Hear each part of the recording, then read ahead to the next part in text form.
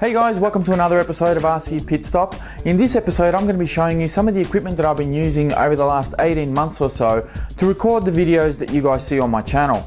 Uh, I've had a few people ask me during that time, um, you know, how is it that I can record and uh, drive my RCs at the same time? So I figured, you know, it would probably be a good time to show you all of the equipment uh, that I actually use uh, to record the videos that you see. Now, a bit of a quick disclaimer before I get stuck into all of this.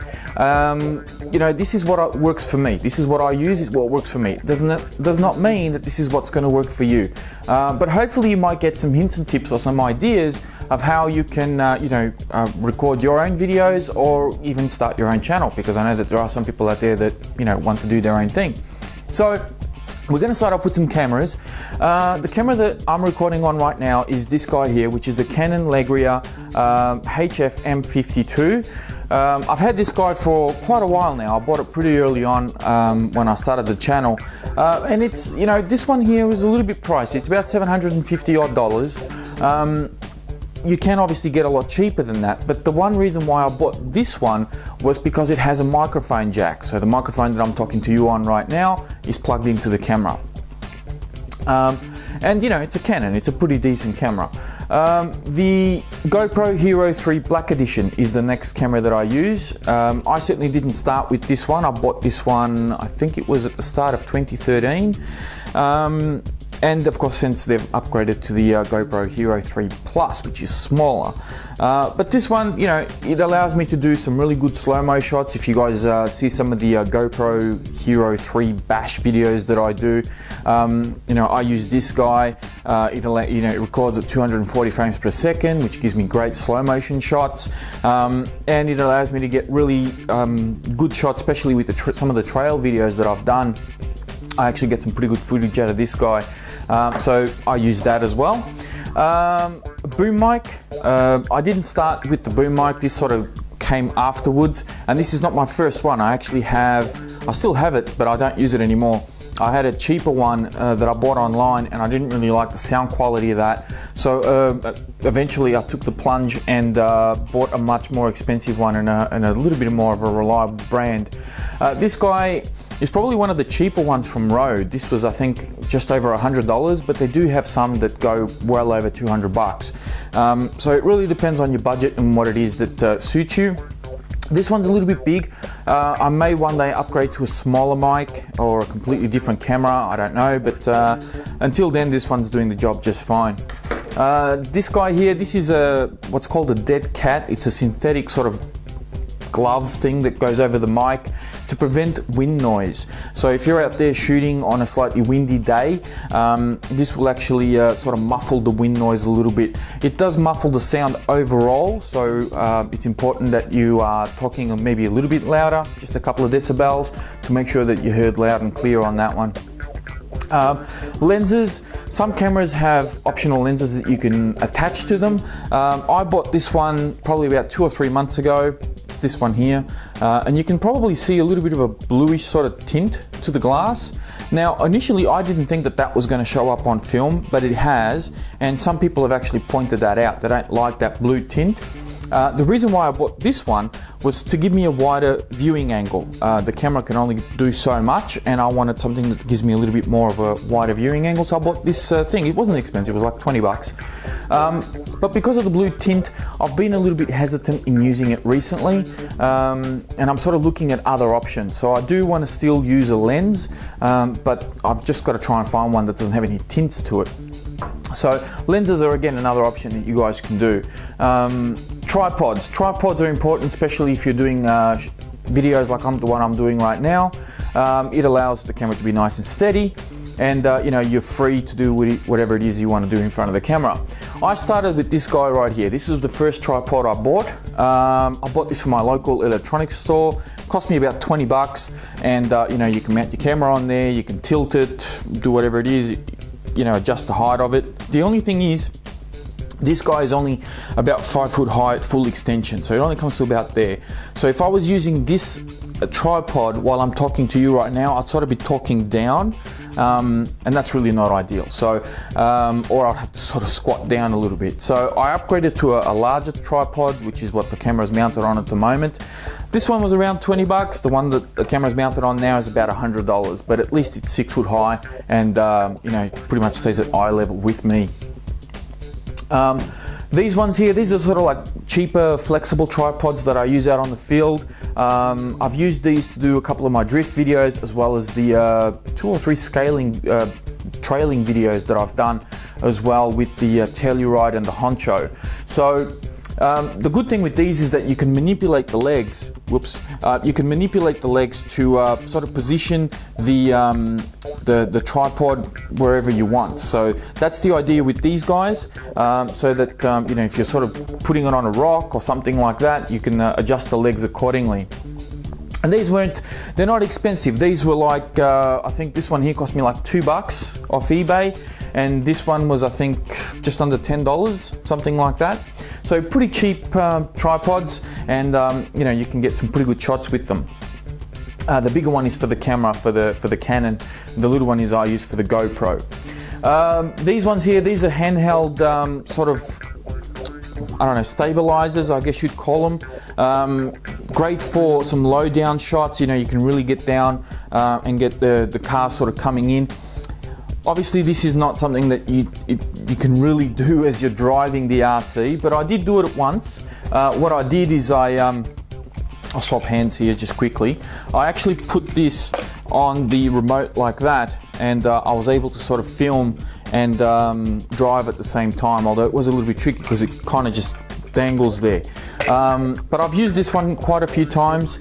Uh, I've had uh, a couple of guys use this one to help me uh, shoot a couple of videos in the past.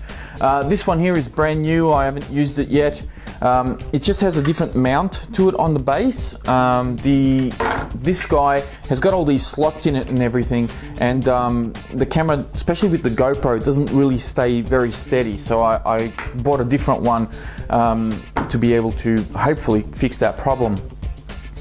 Whilst I've got the remote in my hand, this is one of the ways that you can drive and record at the same time. The mounts and the brackets that you see here all came in the box with the GoPro when I bought it. Um, and you can basically, you know, just uh, drive and record as I do, same thing. Um, so just basically, you know, the GoPro just mounted straight onto your remote. Uh, it's probably not going to work with every single remote, uh, but it should work with most. This here is something that I've bought and I haven't used yet. This is an extendable pole. Basically comes out like so. And uh, it has a little mount up the top here. Hopefully you guys can see that okay. That uh, focuses in just like so. Undo this and that actually tilts. And uh, you mount your GoPro there and uh, you know you can get pretty close to your um, to your car while you're far away so you you know you don't get hit. Um, or you can even point it towards you and uh, you know take a selfie if you want. Uh, it's up to you. Um, but this, you know, this is again something that i will need somebody to help me uh, record. Uh, with this guy, it's not something that you can sort of drive and record at the same time. Uh, the plate that the GoPro comes mounted on in the box, which is this one here, uh, I've got a separate video showing you how to mount a GoPro onto your RC. Um, now it doesn't work for every RC and certainly not for every scale and I'm not going to go into too much detail on it here uh, because I've done a separate video for that already and I'll leave a link in the description for you guys to check out. Basically I use magnets. I taped a couple of magnets to the, um, to the base of this plate and then you put a couple of more magnets inside the actual uh, body of the RC and that will just stick to the to the roof or the bonnet depending on how much space you have and uh, that way you can record and get um, you know footage on the actual car itself. Check out the video in the description. I'll go into more detail there and you'll be able to see it. Uh, the head strap is again another thing that I use. Um, I use this primarily for the um, uh, Helimax 1SQ VCAM uh, videos when I was flying it, as well as the uh, Latrax Alias. Um, so basically, you know, you put it on your head just like a hat, and um, you mount your GoPro on the front. Uh, now the good thing with the GoPro being a Wi-Fi is that there is an app that you can have on your phone and you'll be able to see um, what you're about to, to film before you press record. So if, um, you know, it just gives you the opportunity to adjust the height of the uh, GoPro so that you're not sort of like pointing too far down or too far up and uh, that way, you know, you get what it is, what it is that you're filming in frame. And now this one here, this last one, is uh, the harness that I use to record all of my running videos of the RCs that you see behind me. Um, so basically this is a $30 or maybe even $40 item off eBay. Um, and I'll show you how it works. Undo this here. It opens up like that, all right? And it's got a little lock-in knob just here. So you basically, I open it up pretty much all the way. Um, because that's just the size that I am. Uh, depending on how big you are, you may want to you know, adjust it accordingly. So I mount it on my right shoulder. You can have it on the left shoulder, but the thing is the camera has the screen on the left hand side. So when you open it up, um, it'll be sort of in front of me. If I have it on this shoulder, uh, the camera would sort of, I'll sort of be looking over the camera to uh, see the screen. So I have it on my right shoulder and it just you know, I'm used to it. It feels comfortable this way. So basically it sits like that, um, just on the shoulder. And then this strap here goes around your back and it comes around the front and then you just clip it into, into place. Then there's an adjustment here. So you make sure that it's nice and tight, but not too tight to the point where it's uncomfortable. Um, it does take a little bit to get used to, getting used to. This uh, base here kind of sits pretty low, kind of like on your ribs. Um, doesn't really sit on your belly, but I guess if you're smaller, it might. Um, and it basically just sits like that. So you can see how it works. Um, you've got various different mounting positions, but I've got it set up this way. I mount my camera straight on top here, and uh, now I can uh, record and drive my RCs at the same time. But it does take a little bit of practice of getting used to uh, because generally when you're out and about just bashing, you'll be sitting in the one position just driving around and you know your head will be moving but your body will generally stay still. You need to move your body when you've got this on if you want to get your car in shot. Uh, so as the car is moving around in front of you, you need to make sure that you um, you know move with uh, your head movement. So you kind of like, you have to sort of freeze your neck, so to speak, um, and you know allow your shoulders to follow. And it's the same thing as you're going. You know, if the car comes closer, you need to sort of angle down a little bit. If you take a jump, you need to sort of move up a little bit. Make sure that you keep the car in frame. Initially, I wasn't sure if I was supposed to be looking at the car or the screen, but eventually I learned to just look at the car. I can't do it just looking at the screen. I keep the screen in my peripheral vision, uh, but once I've got the camera sort of positioned in the way that I want, um, I just uh, look at the car and I just move around and record it that way. It takes a little bit of practice, guys. It's not something that you sort of pick up in five minutes, but um, because I know that in some of my videos, if you look hard enough, uh, there are some videos that I've got on my channel where the car sometimes falls out of shot. Uh, but generally, you know, it stays in frame and, and it you guys get the idea of how it runs. Mounting positions, you've got this uh, bracket here that I've got on a right angle. You can have it straight. If you don't like the bracket, you can always take it off, mount it on this platform or this platform right here, or you can take the middle plate off and actually mount the bracket on the first platform back here. So there's a few options of how you can actually mount your camera. Um, and then it just, you know, you undo the little knob here, this thing sort of folds up and uh, that's pretty much how I do my running videos. Uh, and as I said at the start, you know, this is what works for me. It may not be the um, thing that works for you. I mean, if you don't like this idea, don't have to use it. Um, but uh, for those of you who have asked me, you know, how I record and, and uh, drive my RCs at the same time, this is the equipment that I use. Now, I will give you guys uh, just a couple of pointers as well into, you know, if you're, if you're planning into uh, producing your own uh, videos and, and starting your own channel, or if you want, you know, just some hints and tips on how to make your videos a little bit better, uh, there's really four things that you need to consider. One is lighting and make sure that it's the right color of light as well. Uh, if you're using incandescent globes, uh, they tend to have a, a, very warm color. So they have more red in the color spectrum. And what happens is everything sort of uh, dulls down a little bit and you get a lot of warm colors. If that's the tone that you want, then that's fine. But just make sure that whatever it is that you're displaying is nice and clear on screen. If you want uh, good globes, Fluorescent globes are the best. Anything 4000 Kelvin and above is ideal. So your cool white, your natural, or to a certain extent even your daylight.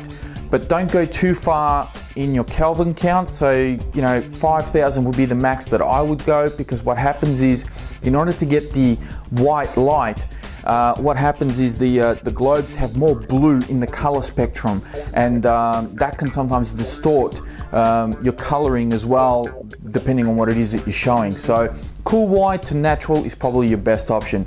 And uh, I know this because I worked for a lighting company for seven years. Um, I also did a kind of did a schooling as well. I got a diploma in lighting, so trust me, take my word for it. Cool white, natural light is the best way to go uh, to really get nice bright white like what you're seeing right now. Um, make sure that your camera's stationary. Um, you know, well, stationary to a certain extent. Like if you're in the studio like I am now, you know, put it on a tripod, sticky tape it to a box. Um, avoid having to do things with one hand because uh, I have seen people sort of struggle to do certain things with one hand. Um, so you know that, that certainly help you um, yourself just to have the free hands uh, as well as you know help your viewers so that they don't see you struggling. Um, make sure that you're prepared. Uh, I have seen some videos in the past where people leave the room to go and get something that they've forgotten about. Um, as you can see here, I've laid out everything that I was going to talk about before I started this video. So I am prepared. Um, have sort of a mental script of what it is that you're going to say. And if you stuff up, hey, you know, start again. I mean, you guys have seen my bloopers, and I'm sure I'm going to put some bloopers at the end of this video as well. So, you know, it takes a lot of time to uh, get things right sometimes. Don't be afraid to start over. Um, alternatively, you know, learn to do some basic editing. You don't have to do any special effects or any crazy music videos um, to get the message across. If uh, you just cut out the bad bits and get to the to the good bits of what it is that you want to talk about, then uh, you know your videos will be a lot better. Sound is also another thing that's important. Um, you know, if you don't have the facility for microphones, make sure that if you're recording something with a handheld camera, you're not blocking the microphone. Make sure you speak nice and clear and loud. Uh, not too loud, you don't want to be screaming at your audience, but um, you know, just make sure that you're nice and uh, clear and understandable. Um, I think that's that's important as well. Um, and really, you know, focus as well. That also depends on the camera. Don't try to move in too close because, you know, too quick because then uh, the camera may not focus in time. Um, you know, try to do things within a certain space so that the camera is not working uh, crazy with the, uh, with the focus. Um, and that's really all about it. You know, there's about four or five things that I mentioned there. Other than that, the rest of it is up to you. The content is entirely up to you. How, what content you're going to be talking about, how you present it, that's entirely, you know, that's on you. Um, if you get the other things right, well, you know, you, are on the right step, you're on the right track. Um, I know that I'm not doing everything correct. I know that, um, you know, there are certain things that I can certainly improve on, but uh, you know, I'm trying. I do watch a lot of other channels and I try to pick up little things uh, to make this channel and what I do a little bit better and a little bit uh, more watchable for you guys. So, you know, I hope you appreciate that at least. That's pretty much it for this episode of RC Pit Stop, guys. I'm not going to waffle on too much longer. I hope um, you know you got some uh, information out of this. Even if you just got one thing that's going to help you, then it's going to make this video worth it. Um, if you liked it, please be sure to hit the like button. If you haven't already, please be sure to subscribe. And if you're on Facebook, um, you know, be sure to check out the video description. I'll have a link in there for Aussie RC Playground. Uh, I have a page. I've got a few people on there already. We're you know sort of interacting with one another. We're all learning from each other, and it's uh, it's a great fun page to be on. Um, and uh, you know, I'm certainly uh, enjoying it. So uh, please go check it out and stay in touch with me that way as well if you like. If you have any questions, please leave them in the comment section below on this video, or as well, you can uh, always get in touch with me on Facebook. Thank you very much for watching, guys, and uh, I'll be speaking to you guys again soon camera that I use, the one that you're um, recording now on, yeah, People ask me about this um, over the months that I've been doing About, yeah, you know, yeah, I know. I'm gonna start again. Hello, my friends, and welcome to Aussie Aussie Playground. Hey guys, welcome to another episode of RC Pit Stop. Today I'm to be showing you. Uh, I forgot. Uh, and a lot of this stuff's been something that I've been uh, acquiring over the over. Uh,